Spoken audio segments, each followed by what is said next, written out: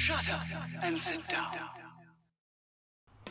Hello guys, it's Andy from Big Meks Workshop and Painting Studio and as promised I'm painting one of Dodger's Orks. So I've pilfered this off his desk and um, I'm doing this as a uh, bit of a different, in a different way to what I would normally do. I'm doing um, I'm, all the colours um, base down first and then I'm doing the highlights together rather than my normal sort of method of highlighting as I go along.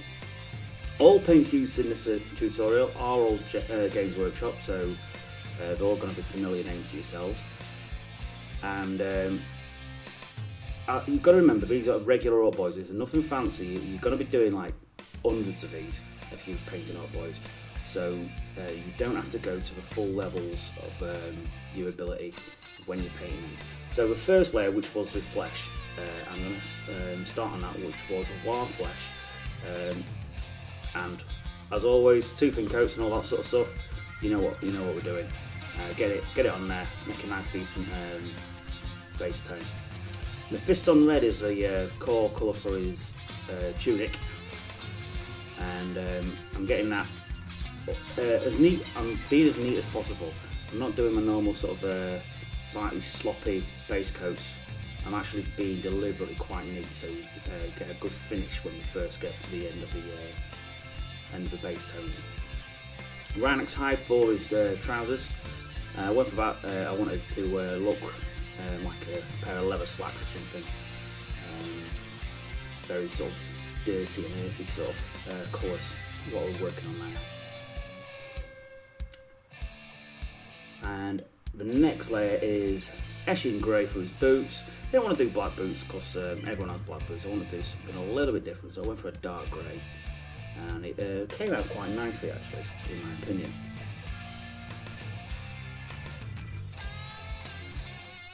Once you've got these um, base colours, always make sure you go around um, through the uh, model itself, um, just to make sure that you've got no uh, overlapping colours. Uh, you just want to make sure you've got everything nice and tidy.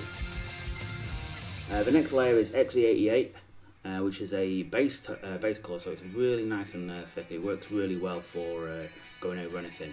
Now I did do a bit of uh, zenithal highlighting on the model, but because I'm using uh, purely with the um, paintbrush and the layers I'm doing pretty decent, you don't really show through so much, so you don't need to worry about anything like that.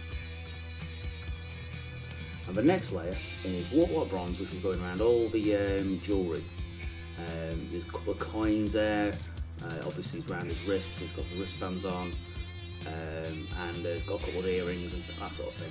So, all, all the uh, little uh, small details are picked out in Warplock Bronze and gets you a nice, uh, deep, shiny colour. I uh, painted the weaponry in Abaddon Black um, to give it a nice, deep um, colour. Because I, have noticed that these GW metallics, especially the silvers, to be a little bit iffy. So if you put a base layer of black on first, it just uh, helps the um, paint uh, show through properly. Into his mouth is Screamer Pink, and I'm using that all around the inside of his uh, mouth, getting a decent coat in there. You get plenty of uh, plenty of detail around his teeth, around his gums.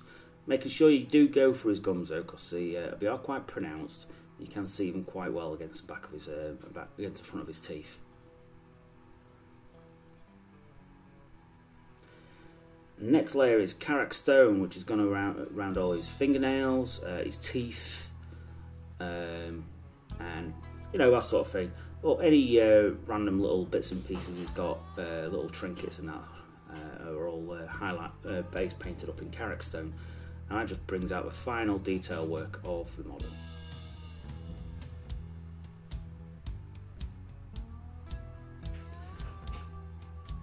And once that, uh, once the black um, set, it is Leadbelcher across all the weapons, and any uh, small bits of silver work will um, be left knocking about, uh, like on the top of a grenade. Uh, the, actual core of the grenade I painted in black. Um, I decided I to that as a sort of a, a deep, uh, deep black against the back of his uh, back of his tunic. So that's the end of the uh, first step. Uh, your models actually look pretty decent at this, as, uh, as long as you've kept it all neat. Now next is a shading uh, step, which is um, Oil is going across all the black, all the silver, um, the greys, um, picking out the detail rather just lapping it on there.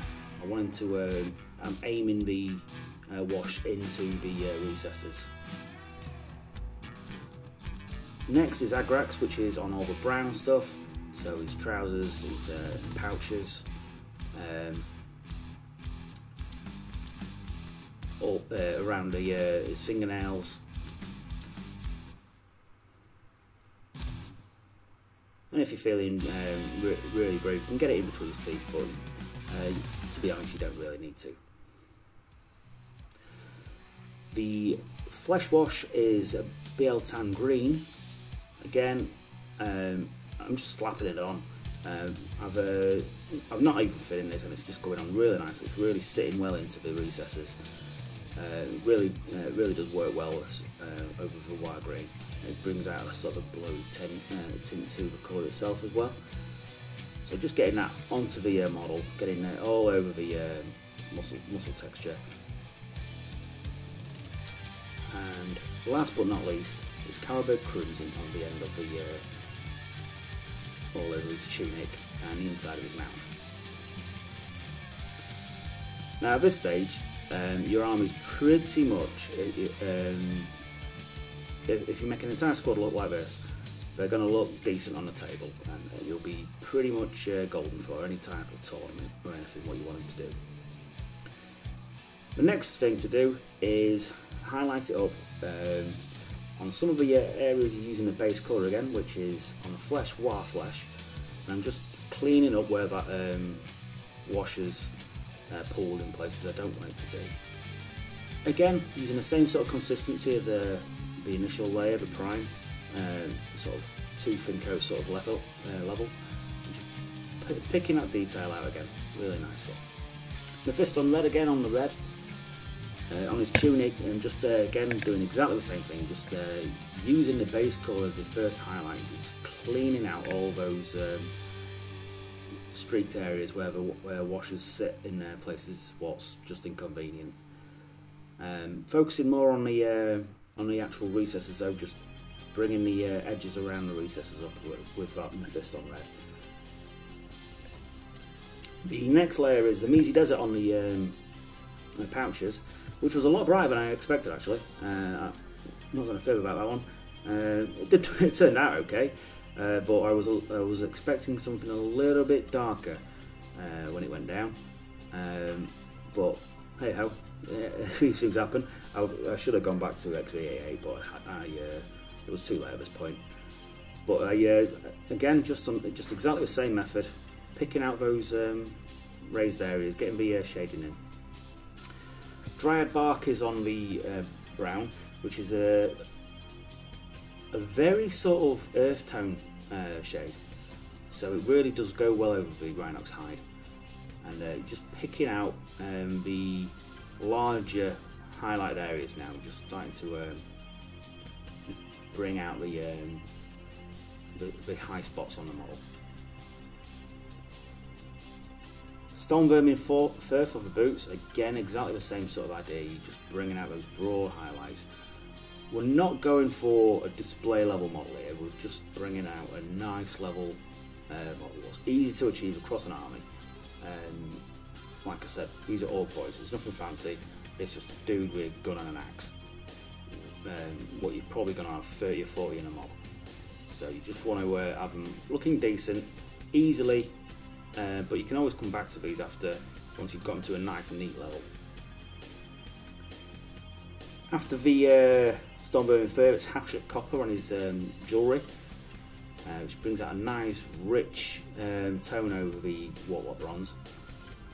Um, and I'm leaving just a small area of the Warplock bronze to show. You can just uh, about see it, so it brings out a nice level highlight on that. Got Ushabti Bone for the uh, fingernails and the claws and his uh, teeth. Picking out that detail work again uh, making sure that you're not covering the entire colour um, um, base coat. So you want some of that initial base to shine through so it does look like they're, um, uh, they're shining in the light. And I did this in slightly wrong order, but it is what it is. Uh, pink horror on the inside of his mouth. You throw in just that one light of um, highlight in there, and around all his gums as well, and just picks out that last detail work. As you can see, I'm using a, a very very fine brush at this point, just to make sure I've got the uh, brush control I need to get inside his mouth and not ruin anything else around it.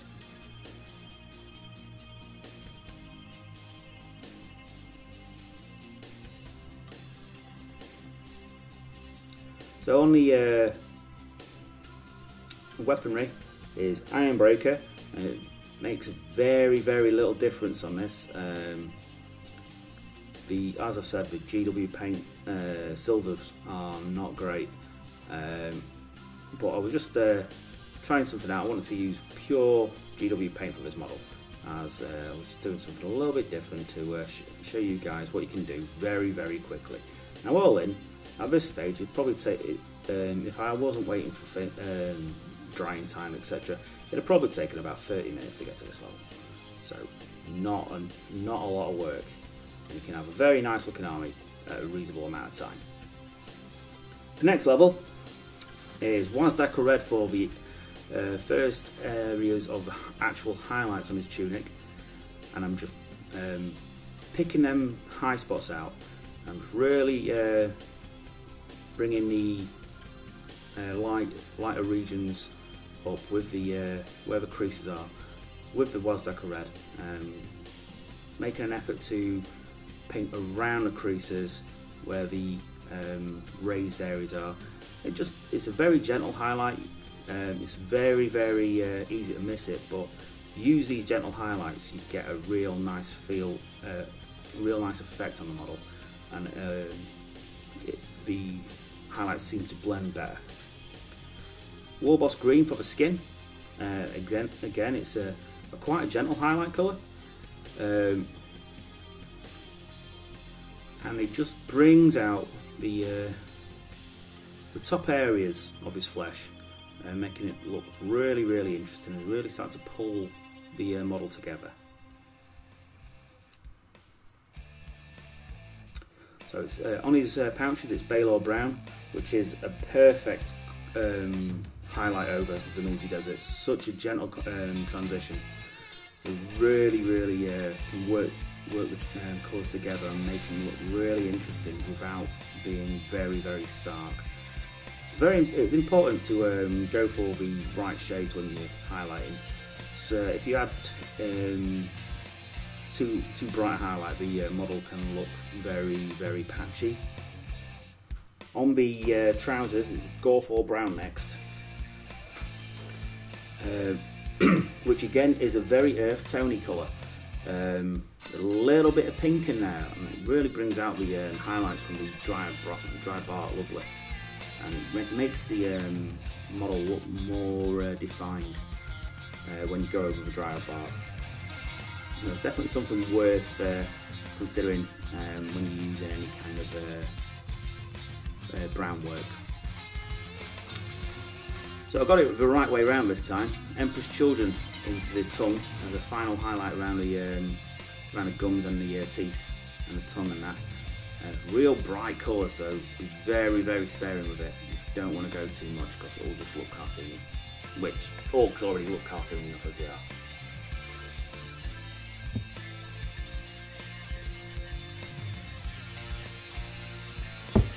Okay, onto the uh, jewellery again, Runelord Brass. Now, as I've already started doing this, it's a slightly different uh, way to what I would normally go.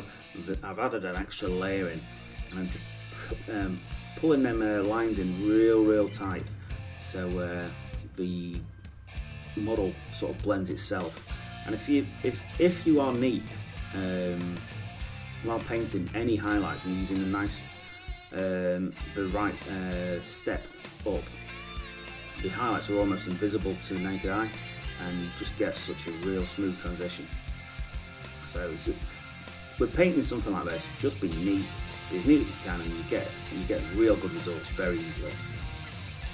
So on the boots, Dawnstone. Now it's a good highlight again for uh, Storm Vermin Fur. And it just picks out them final, final um, touches around the base of his um, boots and such. Ironbreaker is um, then applied to the upper sections of the axe, um, following the pattern of the axe. It's got sort of a um, a patterned blade. I'm trying to follow that pattern um, around the axe head itself. And so it's, uh, it becomes very defined as I uh, add the highlights to it. And Screaming Skull on the teeth bring them out again, that final touch, just to make them real pop. Now at this stage I've probably invested a couple of hours into the figure, um, which is far far too much for a regular old boy. Again, you're talking 30 or 40 of them, so you don't want to be spending too much time on them unless you want to, for have a real shiny looking army. But it's definitely okay for your uh, knobs and squad leaders types, which Dodge will be painting soon. Lies. Okay, and now on to the uh, the final layer of highlights, which is Evil Sunz Scarlet on the um, tunic, which is the uh, final highlight for this particular model. Uh, although it's totally doable to go even higher and higher, uh, I kept the um, colour palette simple uh, because he is an old boy. He's not a, a, war leader or anything. He's nothing fancy. So I wanted uh, to do things a little bit different and get the uh, model really cool, but dead easy. Loren Forest is the skin highlight for the top highlight. Um, again, we've still got a long way um, we can work. We've got another, we can put as many layers on this model as we want and we can really make him pop. But is there really any need? So I'm just finishing them uh, that muscle texture with the Loren Forest and it really brings the final layers out.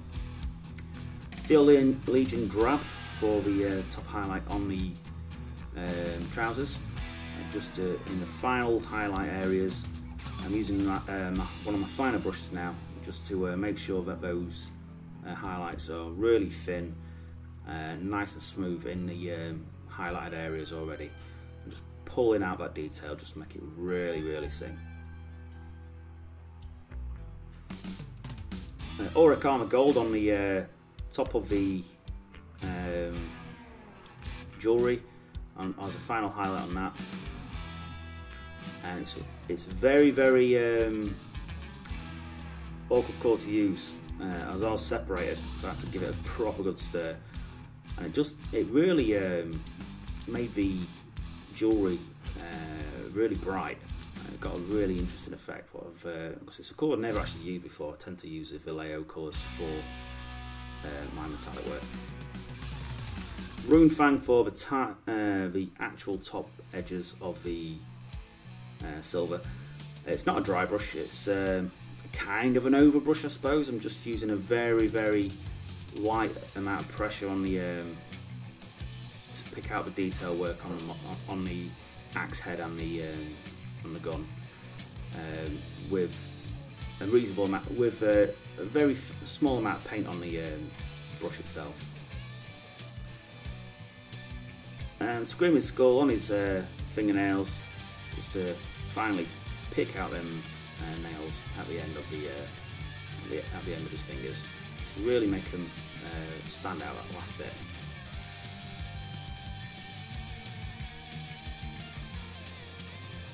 And there you have it. Nothing fancy. We've got a very cool looking ork.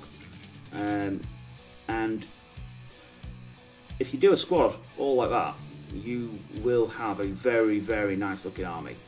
Um, however, I don't envy anyone painting an army like that because that would take forever.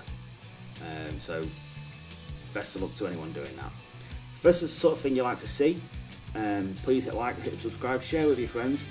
Uh, if there's any questions you want to ask, uh, let us know down in the comments below, and I shall see you in the next one, guys. Take care and have a good one. Bye bye.